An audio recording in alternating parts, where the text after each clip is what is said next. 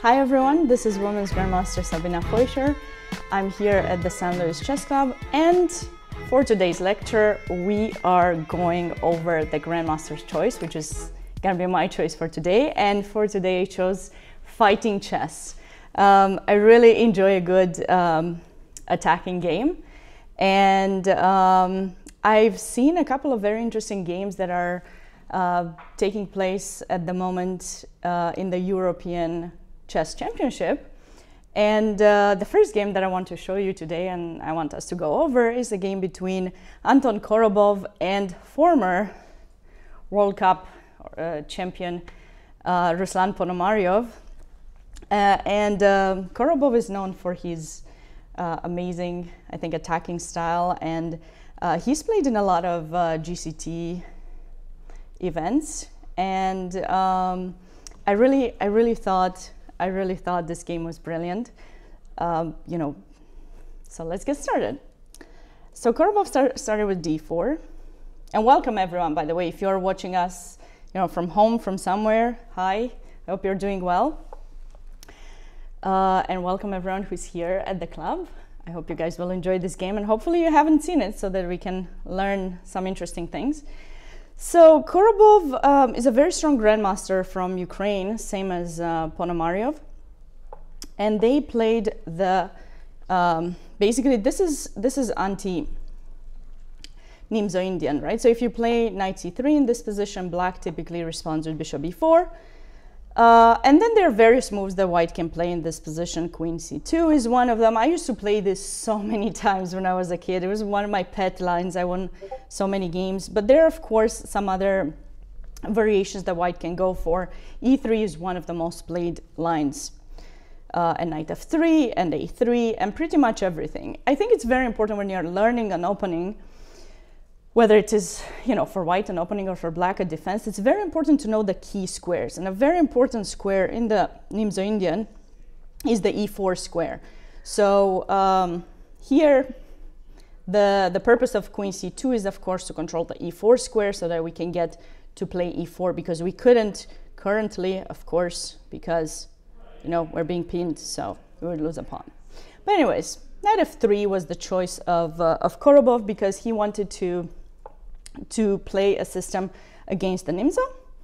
And now knight c3. So we transposed basically back to a queen's gambit. For those of you who maybe are new to chess or interested in this and you don't know what move orders are, you basically can get to the exact same position if you were to play like this.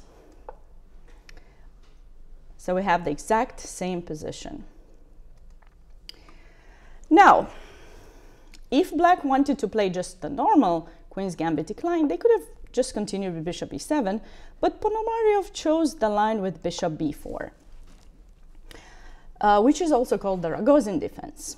And, um, you know, I was, I was quite excited to see this game because I often struggled against the Ragozin. I had a very painful loss one time in the US, uh, and the US Women's Championship, and you know, bishop g5 is kind of the most played line. And then when I saw this game, I was like, hmm, maybe I came up with a new, well, I didn't come up, I just saw a new idea. That's why, you know, it's really cool to check top players' games because um, you end up uh, you end up finding new lines that maybe you weren't familiar with, or maybe you're struggling with the one line and you didn't know what to do, and suddenly you see an idea uh, that could become part of your repertoire. So maybe for someone who's a, a beginner, let's say, you're being told not to take your queen out early. But the point of this move is, um, of course, it's a check bishop, but the point is to get black to play knight c6. With black, you typically want to find a way to push the c pawn, whether it is c6 or c5, you want the pawn pushed so that you're giving yourself a little bit more space. But in this position, queen a4, it does take the queen out early, but it also forces the knight to go to c6, and because the knight is there, um, it's the, the knight would have to move eventually back so the pawn pushes. And yeah, maybe white's queen is kind of out of play here, but don't worry. We will be bringing it back into, into play eventually. Okay, so white continues their development. Now, e3 is the most natural uh, move for white. Bishop g5 is another option. Uh, but, uh, but the reason we play e3 is to make sure we're protecting this pawn. And so we do with this c4 pawn by opening the bishop, castle, bishop d2. Now white does not want to allow the doubling of the pawns here. So if you were to take, obviously we would capture back with the bishop. I see a lot of people in the chat are saying hi. I know a lot of them by their username, so Thanks for stopping by. Uh, and here, this was the move that I was quite excited to see. So bishop d6, c5. Why is this important? Well, typically you see black returning with a bishop in e7. Like this is, uh, this is something you expect, or capturing in c3 like I showed you. The point with bishop d6 is to actually attract c5, and you would think with black that this move is not very good for white because typically, if you choose to blockade the position in the center, you are giving black the option to push later on e5 and kind of have a clear attacking plan in the center and the king side. So this is a move that I often tell my students not to play, whether it is in the London system uh, with black or sometimes with white. I tell them don't play that unless you're sure you can come up with a good plan to give your, uh, yourself more space on the queen side, like really. And you can actually open up the position because otherwise black has a very simple plan. But Korobov, he played this move and um, he actually played it quite, quite fast, I would say. If you guys, uh, I, I, believe it is visible in, in the video as well. You see he had like a minute third, almost a minute 32 and he got to 129. He, he spent a little bit of time in this and there weren't so many games actually played in this specific position. But he went for the move. And obviously, when you go for such a move, again, you need to make sure you have a very clear plan of how to continue to push the pawns forward and attack on the queen side. Because otherwise, black will prep to play e5, e4, and start the pawn march on the king side. Okay, so b4, let's go for the attack, fighting chess, attacking chess. I love this. The reason I love fighting chess so much and, attack, whether it do, like even if it's not towards the king directly, it's because I don't think I played very well myself. Like when I end up playing, uh, I'm more of a positional player. So uh, every time I try to push the pawns too much, I end up just, you know, messing up. So it's always nice to see other players do it. Maybe one day I will learn it myself. And uh, so, okay, so 94, a very natural move to kind of block all kind of ideas for white to even consider to play e4, although those wouldn't be very good. Clearly, white is gonna push the pawns on the queen side. And, um, and maybe getting some ideas with f5. Does anyone in, in the audience, and then of course people can write in the chat as well, I'll check it, know who kind of came up with these ideas with the f pawn push? It was Pillsbury. Pillsbury kind of had this idea. Actually, wrote an article about it um, last year. um, he came up with the idea, but for white, to play f4, f5, and um, you you see this kind of approach when the center is blocked. You, it's fine for black to push the pawn, and it would be fine for white because there would be no way for the king to be in danger because the diagonal is locked. Uh, but you can use f5, f4 as a means to attack. So white needs to rush in this position. So he went for he went for for uh, b5. Yes, uh, Yasser Seirawan, a great commentator, and he's he's often here uh, at the club. Often says push push the pawns, push them as much as possible. And however, just keep in mind, once you push a pawn, you can't go back. So when you push them, make sure you're not leaving too much stuff behind, too many squares that you cannot control anymore that could be utilized by your opponent because then, you know, there's a trade-off. But here's the thing, as soon as white played b5, he kind of allowed uh, black to capture in d2.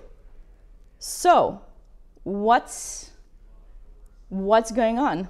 I'm reading some of the tweets. I'm not reading, sorry, so, some of the chat. I'm not reading all of it because then I'll definitely get distracted from the game. Um, but I'm, I'm kind of peeking through it a little bit.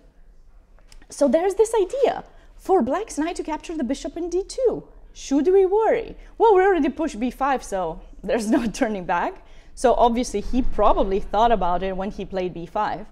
But now let's think about it ourselves. Would it be okay? Would we be fine with white if black were to capture our bishop in d2?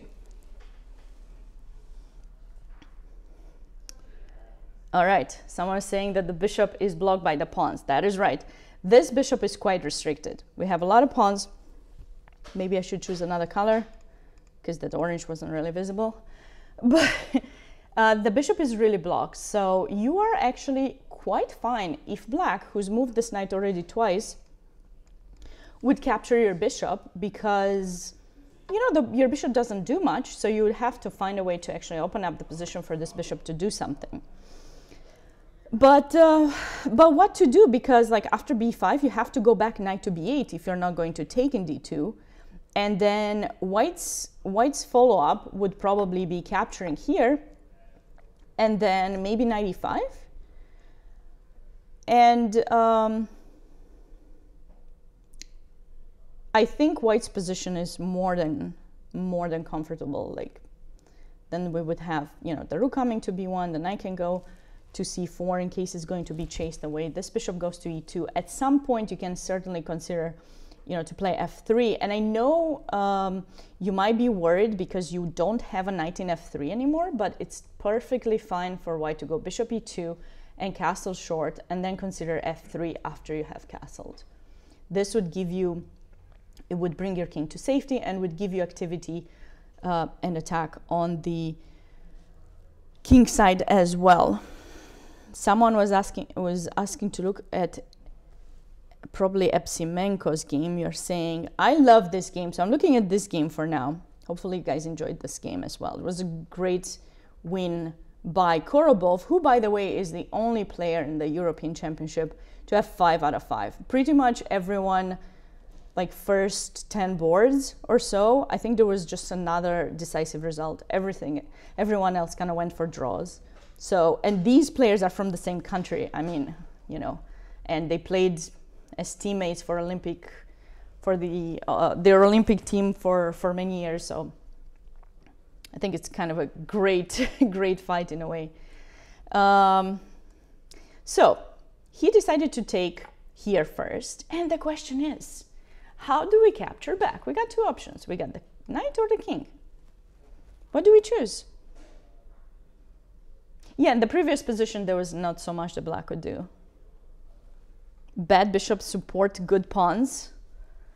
Uh, that's right. That that could be that could be a thing for sure in the audience here in the club. Does anyone want to take a choice? With the knight? What do you think? Same? Yeah, so normally, normally we would capture with the knight, of course, because, you know, it's, it's, you know, our king we want to castle, right? And then bishop d3, uh, and then castle, of course. Uh, but okay, this would be definitely a continuation here, here, and then I feel that black should kind of give himself a little bit of space on the queen side, um, and then we would probably castle. And uh, maybe they try to do something like this, so they trade that their bad bishop, and the position is quite balanced. The interesting thing in this game is that Korobov did not capture with the knight. I had to come up with something, something cool. Um, so he captured with the king and he captured quite fast. Look at that. He almost didn't think at all in this position. He just captured and um, yeah, it's my choice today. I'm sorry, guys. It's my choice. So this was my choice. Maybe maybe one day it would be the the, the chat's choice or um, you know, I think tomorrow I actually am doing game analysis. So if you guys have games, that will be your choice. You can give me your games, and then I'll, you know, you will be choosing what's happening in the in the class. Okay, so king takes d2. What? King in the center? Why is this okay? Because the position is blocked. This move is not possible right now. The knight is hanging. So he has to move the, the knight back. And now white basically has the same position, just he doesn't need to castle because he plays bishop d3. And suddenly white has completed development. The two rooks are connected. And uh, he can choose actually which side of the board he wants his king to go to. If he feels that the center gets open, maybe he's gonna go to c2. If not, maybe he will shift on the other side. So uh, it's kind of it's kind of cool. It's I think this move is really cool. And nobody, at least Lichess, um, had no games. I haven't had the chance to check the database to see if there were any other games. If any of you have the chance to do that, please do so. But um, but there are no games. He just went king takes d2. Wow. Okay. So c6. Black is trying to give himself some space. Now we have to talk about plans because black is struggling with the space. So he does want to play something like bishop d7 and try to trade as I showed you previously. This move would be great as well, but he has to support it with f6. And even so, it's not a move that black might be ready to play. Um, so he started with c6 first, rook b1, and uh, c takes b5. Why not b6 here after c6, someone is asking me. Great question. Great question. Why do you think we don't play this? After this, white's position is really, really bad. Because when, when you realize that you have more space on one side of the board, so in this case, right, the, the board cuts off in the middle, and we definitely have these pawns blocked here. So this is the difference. This pawn in c5 versus this pawn in c6. So when you have more space on one side of the board and your pawns also kind of point out towards that direction, that is the side of the board where you want to play. What does that mean? You want to find a way to push the pawns forward, trade them off with the opponent's pawns, so that you open up files for your pieces to get into play, because you don't have other way to enter in your opponent's territory. For them, they have to play on the other side. So if you're going to play b6, you're basically kind of cutting off a lot of your resources to open up a file. You want to take here eventually, but you're not going to take right now. If you take too soon, you're helping your opponent. How? Well, he wants to get with that knight back out, so he's just going to capture with the knight. His knight is back out and um, developed. Nobody gets to chase him ever again. And yes, you open up the b file, but that pawn is easily protected by black with rook b8, even queen c7. He can protect it. He's got his knight back and he's happy. So before you're going to take, you will make sure to place your pieces on, on much better positions, on the best possible positions you can, so that when you take, you're actually opening up your pieces. So uh, with b6, yes? Why wouldn't you take the outside pawn on, uh, on A, on the, on the A file? So now it's black to move. So let's say black would just develop. So you would take, right? Mm-hmm. So now when you take here, you're still stuck, like you're blocked this pawn. Um, you can't you can't promote it. You're you're stuck there. Whenever you want to support that pawn in any way, you would have to get the knight like this, right? For that to happen, the queen has to move. So that's the the moment he will take. But right now, the pawn is not dangerous because it's blocked and you cannot get black's rook away from there, which means that black can focus uh, in the center. And I don't know if he needs f6, he might be able to just play e5 directly. And since you've got the king in the center, he's trying to break your chain. Now, obviously, he has this threat as well, fork. So you either are going to move one of these two pieces, because taking, he's just very happy right? Takes, takes, and then he takes, and that pawn will fall. it's like a lonely pawn. It's not protected anymore. And if the rook wasn't in a8, of course you should you should take and try to promote it. This kind of situation also happens sometimes on the king side because um, like oftentimes people allow a pawn to go all the way to h7 and then they just go king h8. Maybe you've seen something like that before. So when that happens, it's really sad for white because they cannot just bring their king, sorry, their queen to capture their own pawn to mate. So you're just stuck. Your own pawn is actually stopping your fight and your attack. So that's that's the problem. You win a pawn, but it's not a valuable one. It's not one you can actually utilize. Does it make sense? Yeah, yeah. Okay.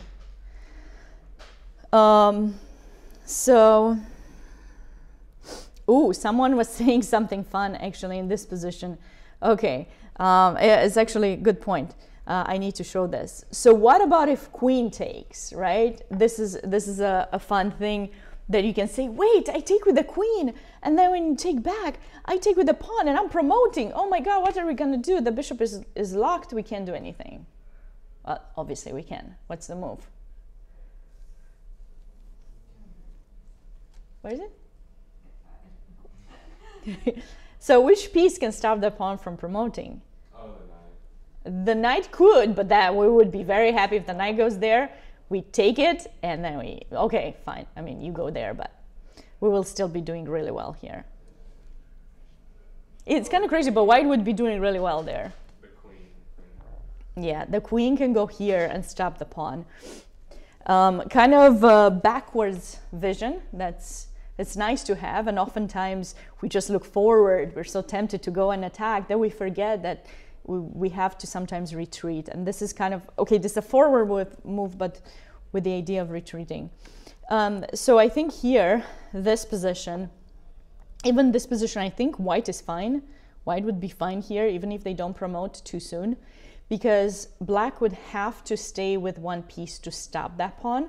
And there would also be ideas possibly with some bishop a6 at some point in an endgame and then push this and then would have two pawns, one of those would would promote. Yeah, black is a queen up, but but I think after either this rook or this rook, we either go bishop some bishop a6 or we can push this and then we'll have to connect it and black doesn't have sufficient time most likely to open up. But anyways, let's go back to our game. So we want to put more pressure before we choose to open up that side of the board. So here, rook a b1, c takes b5. Um, and in this position, Korobov decided to capture with the bishop. I like this, this move. Uh, with the knight, ideally it would be nice to capture, but I think there's no, I mean, you attack that pawn, but you won't be taking it to remain pinned. Knight c6 is anyway something that black wants to do. So I think his, his choice bishop takes b5 was fine. And queen c7.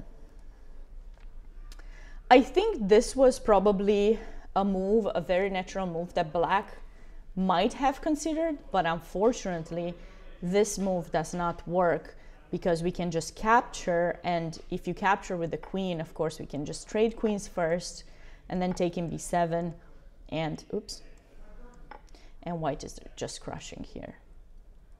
Extra pawn and everything. So black wants to develop but he cannot. So i think um, I, I always recommend i know some people don't and these days you know everyone has their own kind of way of teaching and describing things but i think it is very very important that you um, spend the time to study the classics and and see some of these games where um, some players were able to super to really dominate their opponents and they're you know world champions playing against another world champion and they just sometimes just had these one two mistakes where they left pieces behind um, or they thought they have sufficient time to do something and then um, because they stayed behind with the development, the other side, the other world champion, uh, really took advantage of. Uh, this so many games that I can think of right now, classical games that something like that was happening. But okay, this position is not lost for black or anything. He just needs to find the right way to develop his pieces without dropping material. And uh, and going back just for one second, in case I haven't explained it very well at first the reason black chose to take, he doesn't want to normally. He really wants to support e5, but he cannot develop otherwise. He's really struggling. He's got no place to develop his pieces. Like knight d7 just drops this pawn for free. Uh, bishop d7 allows, I think, knight e5, or maybe, or yeah, I think knight e5 is fine. And then we take. That pawn is going to be hanging. because he cannot take his pieces out, he's just trying to give himself some some air to breathe, and that's why he captures that that way. Oh, someone from Charlotte Center. Hi there. Thanks for joining our stream.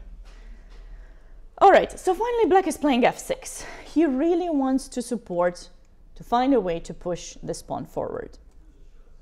Bishop d7, again, was a move that he probably wanted to do. But there's this annoying knight e5, and the reason white plays this now is he's trying to keep the position a little bit locked, um, and he might want to play f4. And what do you do now? Let's say you play knight c6. I think probably we can go f4 here, or like this seems like a like a nice nice idea. And even if black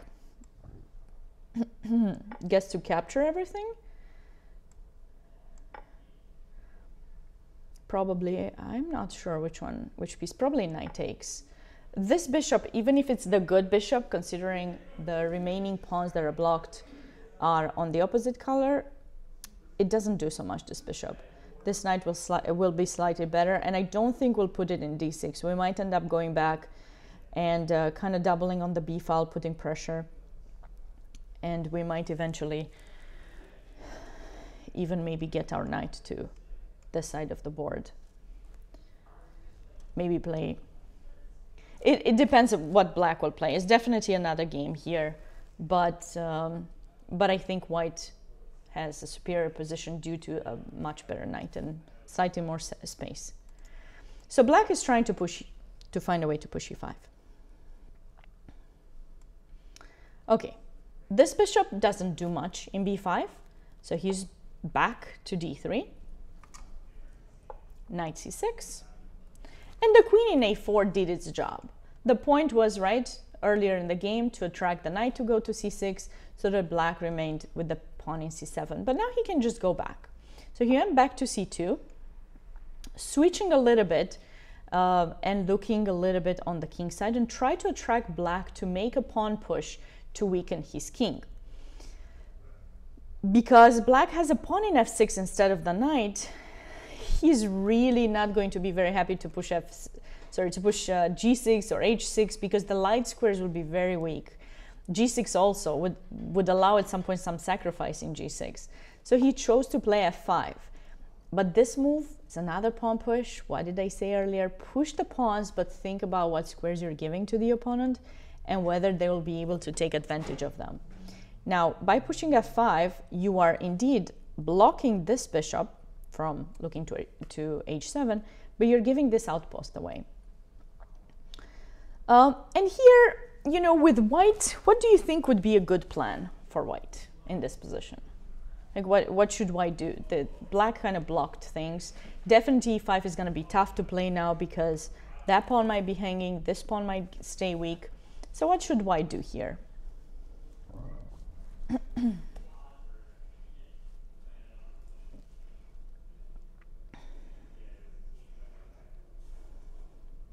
Okay. I think normally this king does not belong there. At this point, it doesn't belong there anymore. So you would love if you could just suddenly just make this move, just bring your king sa to safety first, and then, you know, do something. Uh, on YouTube, Chris is saying 91, play f4, and then knight back to f3. Okay, I mean, that's an option, I guess. Um, but why would you do that? Like, you know, why, why would you want to do that though?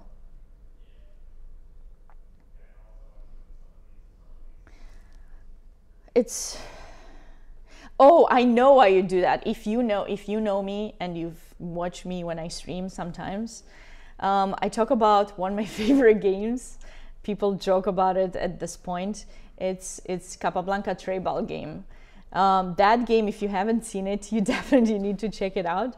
In that game, Capablanca ends up having the pawns placed like that, exactly as my V shape. Um, and everything is blocked and exactly goes that way. So he's actually gaining a lot of space on this side of the board and then he switches over on this side because he realizes his opponent is going to push. So in order to stop his opponent, he actually does something like that, like Chris says on, on YouTube. And then he goes h3, g4, g5, and literally his pawns end up going like this. If you don't know that game, definitely check it out after this class. Um, you're gonna enjoy it, and you're gonna understand me better for next time. Um, so that's a nice idea indeed. I don't think it's uh, I don't think it's gonna be in the end like you can't really utilize that square. So I'd rather use um, h h3 h4 maybe h3 g4 is saying someone else.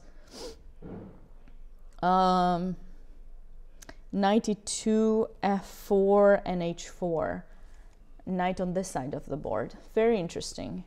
Lots of interesting ideas that I actually hadn't thought about when I looked at this game. Um, maybe this is not... I feel though if you do that, it's not that you don't have time, you do have. Maybe black will also have time to bring in his bishop. That's basically black's worst place piece. When you don't know what to do in a position, you got two things that you can do in my opinion. One of them, check your pawn structure and look on the side of the board where you have more space. That is the side of the board where you probably have to find a way to get in your pieces to attack. Um, other thing is look, or maybe it's gonna be three, maybe I'll add, there'll be three things. Second one, look for your worst place piece and try to find a way to improve it. And last one, it's so cliche that I say that it's three. I need to come up with an additional one. By the end of my residency here, I will.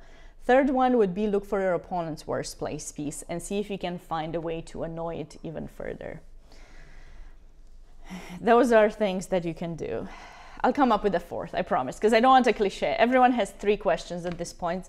I don't want three questions. I want something extra. Well, I'm creative enough. It, it will come, don't worry. But anyways, in this position, Korobov was like, nah, I'm gonna go knight b5. Forget about improving things, let me do this first. And I thought it was interesting in a way because he just came back with a knight from there. So you're thinking, well, he's not gonna get to d6. What's even the point of this move? Like, why, why is he playing it? Well, to chase the queen away, that's for sure. Queen b8 was played by, by uh, uh, Ponomariov, and I was like, well, why didn't he go there? But then, but then you're thinking, okay, then maybe we do have time. We do have a lot of time to do whatever we wanted with g3. Maybe g3 is a move, or just you know bring the king there. Maybe like Chris said, move the knight. I just don't like knight e1. I feel like it's too passive, not necessary to go there to go f4. Something else should be. You know what I would like to go? King e2, h3, g4. You know, someone said it in the chat, I think, this idea. That's what I would do. Because we're talking fighting chess. Let's just be aggressive. It's not our pieces, right? We can do that. no, but seriously, that is a good plan. That is a really, really wise, um, wise idea for white to open up their bishop.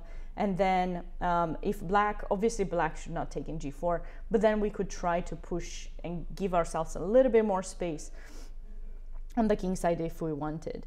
What I found interesting is here after queen b8, queen c3 was played. So maybe he kept the queen in b8 to support this move, but I always felt that that pawn was hanging. But maybe Ponomariov somehow thought that that's an option. So Korobov's like, nope, not happening. You're not gonna play e5. I'm controlling that square very well. And then um, Black was like, okay, now it's the time. Let me chase you back. You have to play to knight a3, and then at least I chase you back, and you don't go to c3 because you just you just blocked your square. The thing is, White didn't really block the square there because um, he actually did something good. When you only have one bishop left on the board, you want to place your queen on the opposite color. Everyone knew this? Here? Yeah? Good. Um, so that's kind of what he did as well by, by making this move. And guess what? No, he didn't go to a3. Why would he when he can go to d6? Cool stuff. Here comes the fighting chess that I love. Why? Because he's just giving up a pawn, right? I mean, what? 96. Thank you very much for the pawn. I'm taking it. And I'm feeling very comfortable about, about this. You know, I have a pawn up. I have a bad bishop, but no worries. I'm going to try to find a way to protect this pawn, maybe rook b8, maybe rook a7, get my bishop out, maybe push some b5, something. I'll come up with something. When you give up a pawn, you don't just give up a pawn like that because you're nice. You're never nice. Your opponent, you know, you, you want to win your games against your opponent, not be nice to them. So this is a really beautiful, in my opinion, pawn sacrifice. It's also just temporary because he's trying to keep black underdeveloped with those pieces. Even if it's going to take forever for the bishop to go out, he still wants to make sure the bishop stays there. So he played this move, rook to b6. Exactly, someone said it in the chat. Good. Um, and if I miss some of your comments, I apologize. I try to make sure I go through this game because I get very excited and distracted. Rook b6. All right, so we're pinning the knight, but also we have this kind of idea. Bishop takes a6, a very typical tactical idea for positions where, uh, you know, a knight on c6. On c3, it happens very often in Sicilians sometimes or in some other, maybe even Queen's Gambits it can happen sometimes that there's a knight here in c3, a pawn in b2, pawn in b3, and sometimes you suddenly if you're not careful, there's a bishop takes, deflecting your pawn from there and your knight is hanging. That's the exact same approach in this position. We want to take and then that knight would be hanging. So Ponomariov went back. As you can see, he cannot just develop the bishop because obviously that pawn is hanging. And this position is going to be tough. Let's just say you are thinking, you know what, I'm going to trade the rook. I'm going to trade a pair of rooks and I'll be fine. Well, you always have to check to look for uh, checks and captures. In fact, recently I've been I've been studying this um, this course um, on Chessable that I like. It's called it's by Judith Polgar, and she has this thing that's called CCTV, and uh, it's checks, captures. Oh my goodness, I forgot what the other two stand for. This is bad. Um, check out what CCTV stands for let me know by the end of this. okay, Rook takes d7. Checks, captures. It sounds like uh, one of those places where, where you sell things in the US. I think she didn't think about that when she created her acronym, but um, okay, nobody's checking it. Okay there is this small little capture. So you sack the rook for two pieces, you, and you basically just you know win two two pieces for the rook, and um, and then uh, this position is going to be really variations, variations, and one more, one more thing. All right, and that's what's happening if you develop the bishop. Going back, queen d8.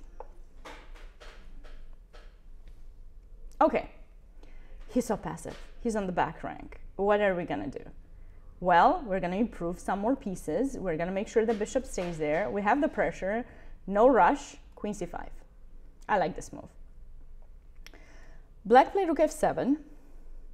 And here, I think this is one of those moments, like there are two or three moments in this game that Korobov maybe hasn't played the most precise way, let's say. But we're all human. We all want it's hard sometimes to play without a pawn. Like we do make the sacrifice, we feel we're good, but then sometimes we're saying, okay, when is the moment to get it back?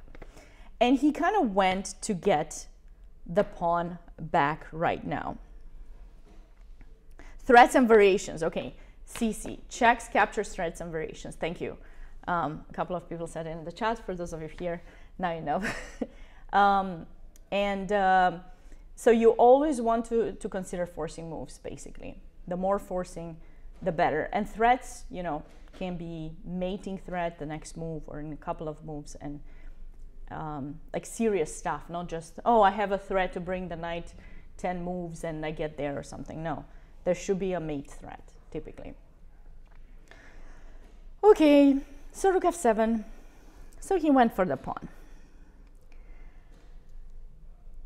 But okay, now we have the time. We're not in a rush, in a big rush. He, how much time did he spend here to go over? Like two minutes to play bishop takes a6, get his pawn back. And he probably thought that In case of a recapture, of course, maybe he would take back here and he would be like tripled on the c file.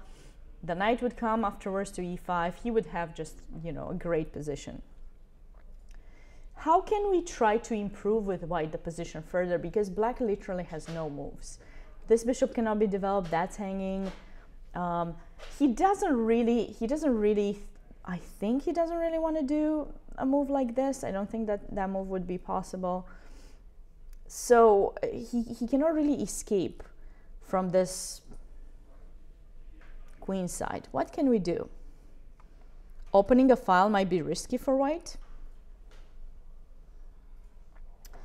Um, no, why would it be risky? Because the king is in d2. The king can always go to e2 and make sure it stays kind of protected here.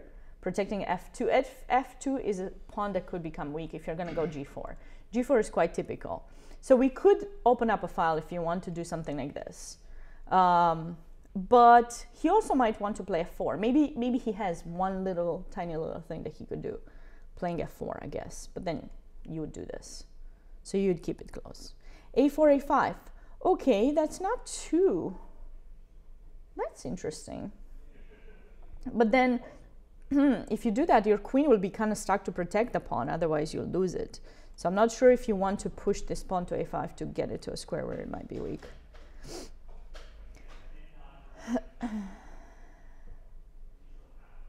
you could also try to improve the position, like if you just do this, and this and just improve it and see what he does. It's like what what moves is black going to come up with next literally? Because literally this move you do nothing. You can even take but you can just do nothing. You can just i think you can just do this. Because if he takes you take back. And again he cannot get the bishop out. He cannot do this because he's pinned over here. If he goes rook a7 then i think we go knight here because he's pinned over here so there are a lot of difficult things that black is struggling with. So white can just afford to make a few improvement moves. And only after that you can take. You have the time to do it because he does not have threats. If he had threats, then you wouldn't waste the time like that. But he went for the pawn. Okay. And in this position, he gave black the opportunity to give a pawn back, play bishop d7, give the pawn, like another pawn, like just be like, take it if you want. But um, white cannot, because if you do, then maybe he's finally getting some activity for the rook that was stuck earlier. Um, now you really do understand that this king could have gotten, let's say, a little bit in danger. And then um, I think after that, maybe there was, uh, I think there was this move or something like this that was able to be played and if you go rook b5 then we'll probably take it.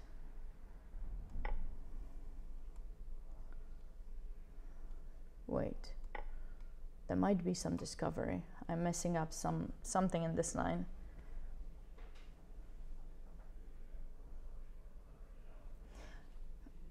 White has to give up the queen and get this position now here we still have ideas with rook c8 and try to win try to win the queen back. We have 95. We should have sufficient compensation for the queen. We have uh, a rook and uh, and a knight for the queen, and he's still restricted on the king side. But why would we do that, right? He was so restricted, and in a few moves, you get from this position where he had nothing to do. We could just improve first, even bring our king to g1 if we wanted into that position where we actually have material disadvantage. So I think bishop d7 kind of had to be played, and obviously you can't take another way. And um, if you go back or something, then you know there, this pawn is still hanging. And whether you go rook c2 or king e1, the same kind of the same kind of thing happens. He's he's out. He's just out. Black, for some reason, uh, Ponomariov, for some reason in this position played rook c7. Um, he probably thought that white is stuck now that he took the pawn in a6. He probably thought that um, the the bishop is pinned, it won't be able to move, and then this pawn in a2 would be hanging.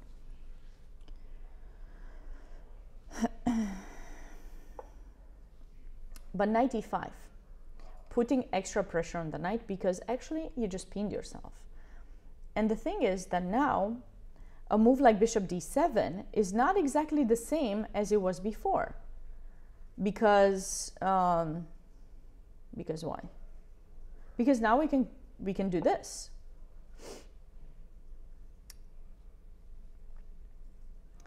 And you, you cannot move the bishop because this pawn will be hanging if you go like bishop there, for example. Why couldn't you do the same thing earlier? Because, you, because your rook was hanging. But now, I, I want you to see clearly the difference. Now, there's a rook there that blocks.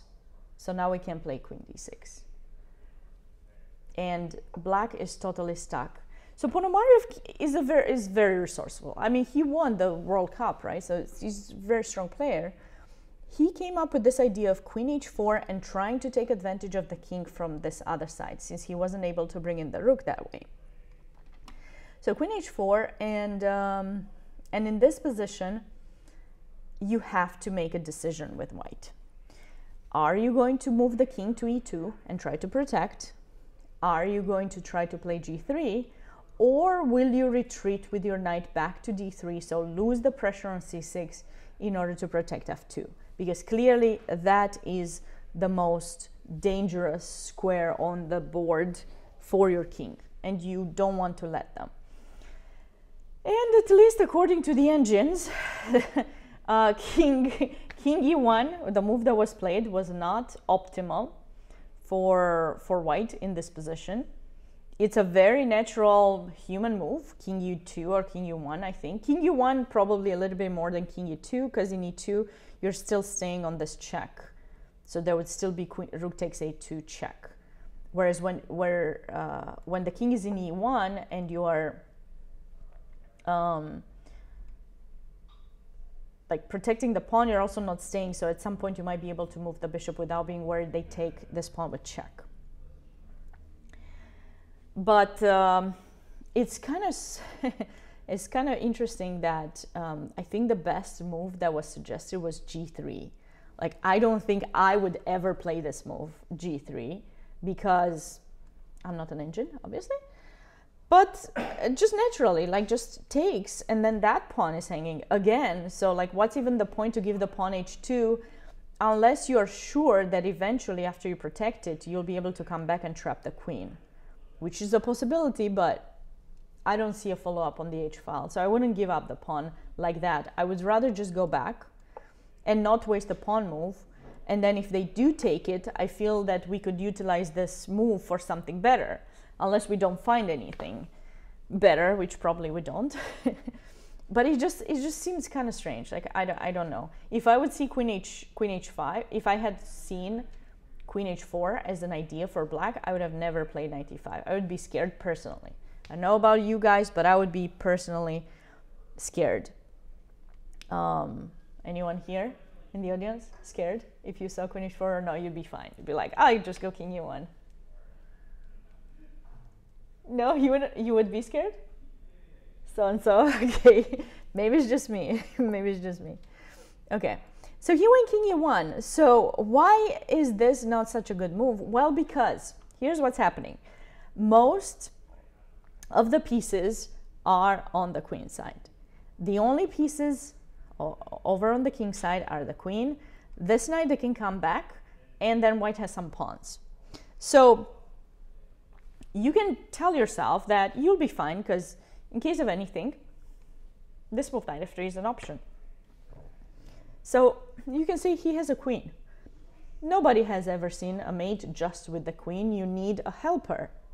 And that is exactly why black would have been fine in this position if he found a way to bring a helper to help his queen take advantage of white's lonely king on the king side.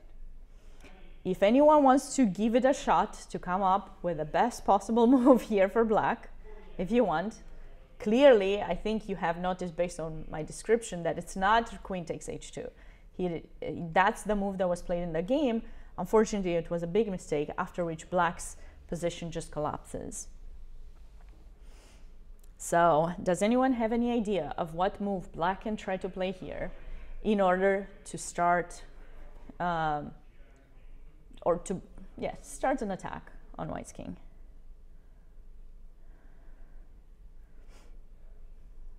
Yes, someone on, on the chat is saying that black is probably better after bishop a6. Uh, I don't know if better, but it certainly could have escaped from that dangerous position. It was just a little bit too greedy to get the pawn back for sure. Knight takes e5. No. Although your idea might be good, if you actually had the opportunity to go knight d3, I would give you thumbs up. But unfortunately, you can't, because I still have my bishop there, which wasn't captured because of this move, right? But now we take, and you cannot, uh, you don't have a forcing move here. And for example, something like this, I feel that I could even take and maybe maybe not maybe i'm being too too aggressive i can just go back you know why why would i worry? I want a rook. I can just go back. So i defend. Someone said it. J shaper. Yes the move was a4 f4 this was the move that black would have played in this position. So he's trying to open up white's king because literally the king is kind of lonely just has the pawns. And for example, like, you know, if you're thinking, wait a second, I'm just going to make some trades and I'll be fine. Not really, because once this move happens, there are serious threats on your king. And let's just say you're going to consider, I don't know, maybe rook or queen back to c2. He's just going to take back and um, pretend like you're just going to make the, trade. The problem is there's a pawn here in your territory that's going to capture here anytime. He just needs to make sure that he doesn't lose anything on that side of the board. He's going to take. If you capture back, there's this idea or this idea. And suddenly white's king that was safe before around here because there's no file opened or nothing, now is not safe anymore. So f4, and now white has to make a few defensive moves, like, like I said, knight f3, a very natural backwards move, but you need to defend your king a little bit. And um, okay, if black goes back, he goes back. Okay, fine. Then maybe we retreat with the bishop too, or something like this, so that in case of a trade, we capture back and we're staying defended there. But I think white either is going to try to repeat the position by going back and forth, if it even works. I'm not even sure if, if it works. I don't know if we should be safe here, but it's just it's very it's very difficult. It is very very difficult for white. but luckily for him, Ponomariov went for queen takes h2. He went for a pawn. Now, don't get me wrong, I'm really a huge fan of I was a huge fan of um, Viktor Korchnoi, who is taking pretty much all the pawns, even poisonous ones. However, you have to be very careful and be very sharp tactically when you make these kinds of decisions. This queen is now out of play and it's not coordinated with any other piece to actually take advantage of white's king. The best it has is maybe a check here or there. The king will go to e2 and then that's it. That's it for black. What about for us? Well, how do we consider things right now? This move is so human. Yes, this move was very human, but it was also not the best. Definitely not very good. Now, white only has one way to win here, which Korobov didn't miss the chance to see. Um, and now and now we have to look at this king and the back rank and then this hanging piece. And that's how you come up with the best move. So what is it? Back rank, rook hanging, king weak, forcing moves. Remember Judith Polgar, CCTV? Checks, captures, threats and variations. We got it. We got it if we learn something this lesson is that Sabina forgets what she's learning, but then people are helping her get it back, and then everyone else learns. So that's that's the right thing. that's the right thing to do. Uh, nobody has any idea here? Maybe in the club? Ben, I'm gonna make you answer. No, Ben is not. oh, you are gonna answer? Forcing move with attack.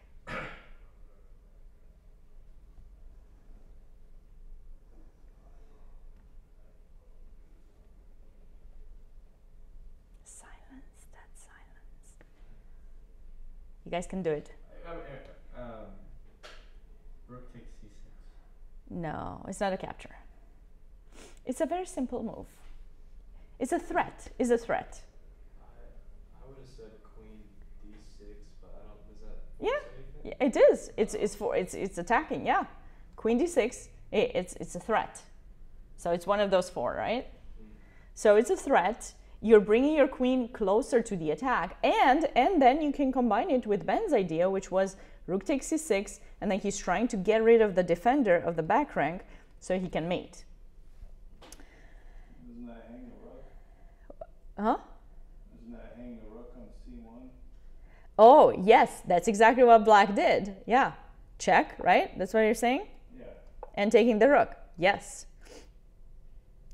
But but now, well, first of all, we could take the rook back if we wanted, but but we're not gonna take the rook back. We want to mate this king because the back rank. So what do we do now? If we're not gonna take the rook, and we want to mate here, Take the no the knight. If we take the rook, we don't have we do have a kind of a serious threat here and and there. That's right. But I think I think tactically that's gonna be a. Did you see it? Discover check. Discover check. Yeah. So backwards kind of idea for for the queen, and then that's a that's an issue. So we're not taking the queen. We're taking the knight, the capture, and then we want to mate. We also attack the queen, of course. And the problem is, okay, first of all, we see we, he cannot recapture because of mate. Um, so he's going to give a check to escape with his queen from the attack. And then we go king f3. What's our threat? We still want to take the rook, but more importantly, we want to checkmate. And then um, is like in huge trouble now. If he plays bishop d7, then we can just take the rook. And then this is hanging. And like I said, you see that queen entered, but it didn't take the right pawns and it didn't have support. And because of that, there was just two checks and that was it. So black's king remained weak. so I liked kind of in a way how although he lost some of his advantage by going to get back his pawn, he ended up just um, coming back into the game because black was a little bit greedy by capturing this pawn, I would say. And it, it's kind of a little bit surprising to me because they did have a lot of time. Both of them seem to have had a lot of time, if the times that Lichess show us are correct. And then rook c7.